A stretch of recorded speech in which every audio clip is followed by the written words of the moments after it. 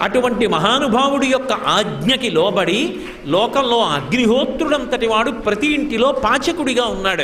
అగ్నిహోత్రుడు ఇంత వెలిగితే చాలు. ఆయన తలుచుకున్నాడా? దగ్ధం చేసి పారేస్తాడు. ఒకనకొకప్పుడు నేను ఉద్యోగంలో కొత్తగా చేరినటువంటి రోజులు పంతొమ్మిది వందల ఎనభై ఎనభై ఒకటి ప్రాంతంలో ఒకసారి మంచి మే నెలలో నేను శ్రీశైలం దర్శనానికి వచ్చాను. దర్శనం చేసుకుని కొంత దూరం దిగేటప్పటికీ బస్సు డ్రైవరు చాలా భయపడిపోయాడు. దావానలం అంటేసుకుందండి మనకి తెలియలేదు ఇది కార్చిచ్చు అంటారు. అంటే ఎటువైపు నుంచి ఎటువైపుకి వస్తుందో చెప్పలేము చీకటి పడుతోంది అప్పుడప్పుడే. ఎటు చూసినా అగ్నిహోత్రమే. అది కూడా దూకుతూ దూకుతూ వెళ్ళి అంటుకుంటుంది కార్చిచ్చు ప్రబలిపోయిందండి ఇలా ఉందనుకోలేదు ఎక్కడో దూరంగా మంట అనుకున్నానో అంటుకుపోయింది అన్నాడు. అది వచ్చేస్తే ఎవరేం చేస్తారు? క్రూర మృగాలు కూడా భయపడిపోయి వచ్చేస్తాయి. కార్చిచ్చు లేని చోటుకి వచ్చేస్తాయి. కానీ అదృష్టం ఆ కార్చిచ్చు మా బస్సు దగ్గరికి రాలేదు. అదృష్టవశాత్తు మేమందరం లోయ దాటిపోయి కిందకి వెళ్ళిపోయాం. ఒక్కొక్కనాడు అగ్నిహోత్రం ఎక్కడో ఎండుటాకులో ఇంత రగులుకుంటుంది. రగులుకున్న అగ్నిహోత్రం అడవి అడవినంతటిని కాల్చేస్తుంది. కానీ అదే అగ్ని మన ఇంటిలో వెలిగిస్తే మనకి వంట చేసి పెడుతున్నాడు ఆయన కర్మ. ఆయన కర్మ కాలి కాదు. ఎవరి కోసం చేస్తున్నాడో తెలుసా? శంకరుడు ఆజ్ఞాపించాడు. వాళ్ళందరూ అన్నం ఎలా తింటారు? నువ్వు ప్రతి ఇంటిలో వంట బ్రాహ్మణుడవై వంట చెయ్యి అన్నాడు. హవ్యం వహతి దేవానాం కవ్యం కవ్యాసినామపి పాకంచ కురుతే వహ్మి శంకరశైవ శాసనాత్ అని వ్యాసుడు లింగపురాణంలో చెప్పాడు. పరమశివుడు ఆజ్ఞాపించాడు కనుక ప్రతి ఇంటిలో వంట బ్రాహ్మణుడై వంట చేసి పెడుతున్నాడు. పితృదేవతలకి కవ్యం ఇస్తే స్వధాకారంతో పిలిస్తే అది పట్టికెళ్ళి పితృదేవతలకు అందిస్తున్నాడు. స్వాహాకారంతో యజ్ఞం చేస్తే ఆ హవిస్సుని పట్టికెళ్ళి దేవతలకు అందిస్తున్నాడు. ఈ మూడు మహోపకారాలు అగ్ని ఎందుకు చేస్తున్నాడు అంటే అదిగో శంకరుడి యొక్క శాసనాన్ని అనుసరించి మనందరినీ కాపాడుతున్నాడు. పరమశివుడే అలా ఆజ్ఞాపించి ఉండి ఉండకపోతే మన బ్రతుకులు ఉంటాయా ఆయన అంతటి కరుణాసముద్రుడు. ఆయన చెయ్యలేనిది ఏముంటుంది? ఆయన చేష్టితములు చాలా ఆశ్చర్యకరంగా ఉంటాయి. దక్షిణ దేశంలో నందనార్ అని ఒక భక్తుడు. ఒకప్పుడు ఆయనకి చిదంబరం వెళ్ళి నటరాజస్వామి దర్శనం చెయ్యాలి అనిపించింది.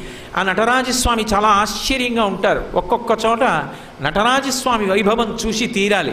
మధురై దేవాలయంలో ఉండేటటువంటి నటరాజస్వామి వారి భంగిమ చూస్తే బహు ఆశ్చర్యకరంగా ఉంటుంది. అన్ని భంగిమల నృత్యం చేస్తాడు. ఆ చిదంబరంలో ఉండేటటువంటి నటరాజస్వామి దర్శనం చెయ్యాలనుకున్నాడు. యజమాని దగ్గరికి వెళ్ళి అడిగాడు చీకటి పడుతుండగా అయ్యా రేపు చిదంబరం వెళ్ళాలనుంది. నటరాజస్వామి దర్శనం చెయ్యాలనుంది. నేను వెళతాను నాకు అనుమతి ఇవ్వండి అని అడిగాడు. ఆయన మహా ఐశ్వర్యవంతుడు మంచి మదోన్మత్తుడై ఉన్నాడు. ఎందుకు పంపించాలి పాలేరిని? వీడితో పనిచేయించాలి తప్పనుకున్నాడు. అని అన్నాడు తప్పకుండా వెళ్ళు అన్నాడు. ఆ ఒక్క మాటే వినపడింది నందనారికి. సంతోషపడిపోయాడు. ఆయన అన్నాడు ఇవాళ రాత్రి మనకున్నటువంటి ఐదు వందల ఎకరాల పొలాన్ని నాగలి పట్టి దున్ని విత్తనాలు చల్లి పంట పండించేయి కోత కోసేయి గడ్డి తీసుకెళ్ళి వాము వేసేయి ధాన్యాన్ని అంతటినీ కూడా దులిపేయి ధాన్యాన్ని బస్తాలకెత్తేయి ధాన్యాగారాలకి తీసుకురా అంతా కూడా శుభ్రంగా సంరక్షణ చేయి గడ్డివాములు వేసేయి పంట పొలంలో మళ్ళీ ఎక్కడా ఒక్క గడ్డి పరక లేకుండా తీసేయి చిదంబరం వెళ్ళిపో అన్నాడు. ఆయనకి ఇవన్నీ వినపడలేదు. ముందు వెళ్ళిపో అన్న మాట వినపడింది. సంతోషపడిపోయాడు. తర్వాత ఇవన్నీ వినపడ్డాయి. అలాగే అన్నాడు వెళ్ళిపో అన్నాడు కదా అన్న సంతోషంలో. గబగబా పొలానికి పరిగెత్తుకొచ్చాడు. కటిక చీకటి. రాత్రి ఏడు ఎనిమిది అవుతోంది. తెల్లవారేటప్పటికి చిదంబరం వెళ్ళాలని కోరిక. రాత్రంతా నడిస్తే కానీ చిదంబరం వెళ్ళలేడు.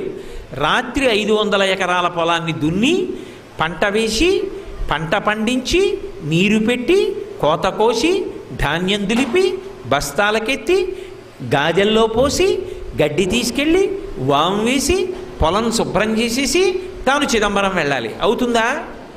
ఒక్కనాటికి అవధానం అర్థమైపోయింది. అయ్యో చిదంబరం వెళ్ళమన్నాడన్న ఆనందంలో వచ్చేసానే ఇప్పుడు నేను ఈ చీకట్లో ఈ పొలం ఎలా దున్నుతాననుకున్నాడు. ఒక్కసారి ఆకాశం ఆయన స్వరూపమేగా పైకి చూశాడు. శివా నరిచి నిన్ను చూడకుండా ఉండలేనయా అని స్పృహ తప్పి పడిపోయాడు ఆయన తలుచుకుంటే ఒక్కసారి సంకల్పం చేస్తే పంట పండేస్తుంది. కానీ తన భక్తుడు పడవలసిన కష్టం తాను పడాలనుకున్నాడు. కైలాసంలో కొడుకులిద్దరిని పిలిచాడు. ఒరేయ్ రండి అన్నాడు. విఘ్నేశ్వరుడు సుబ్రహ్మణ్యుడు ప్రమదగణాలు పార్వతీదేవి అందరూ కలిసి భూమి మీదకు వచ్చారు శంకరుడు స్వయంగా పంచె తీసి పైకి పెట్టి గోచి పోసి కట్టాడు. నాగలి పట్టాడు. ఆయన తలుచుకుంటే ఎంతసేపు భూమి దున్నేశాడు? పార్వతీదేవి విత్తనాలు తల్లింది విఘ్నేశ్వరుడు కలుపు తీశాడు. సుబ్రహ్మణ్యుడు కోత కోశాడు. పంట అంతా పండేసింది తీసుకెళ్ళి ఆ గాదెలో పోసేశారు. గడ్డివాం వేసేశారు. తెల్లవారుతోంది ఇంకా రెండవుతోంది. నందుణ్ణి లేపాడు. నందనార్ చిదంబరం వెళ్ళన్నాడు. ఎలా వెళ్ళను? ఎలా పంట అన్నాడు. పండేసింది చేర్చేశామన్నాడు. నీ యజమానికి చెప్పి వెళ్ళిపో అన్నాడు. గబగబా పరిగెత్తుకుంటూ యజమాని దగ్గరికి వెళ్ళాడు. నువ్వు చెప్పినట్టు పంట పండించానన్నాడు. తెల్లబోయాడు జమీందారు. లేచి వచ్చి చూశాడు గాదెలో పంట ఉంది గడ్డివా ఉంది అన్నీ ఉన్నాయి. అర్థమైంది శివానుగ్రహం అంటే ఏమిటో. నందనార్ కాళ్ళ మీద పడ్డాడు. నీ భక్తి నాకు అర్థమైంది నందుడా. వెళ్ళిపో చిదంబరానికి నేను కూడా మారిపోయాను ఇక పైన ఇలా ప్రవర్తి